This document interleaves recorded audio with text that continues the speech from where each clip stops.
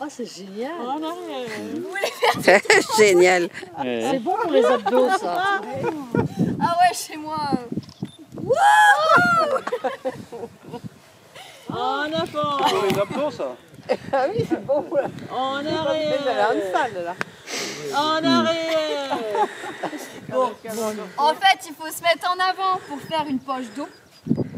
Et après, il faut essayer avec bah, de ramper comme un chien. Ah Je suis désolée, hein, je me suis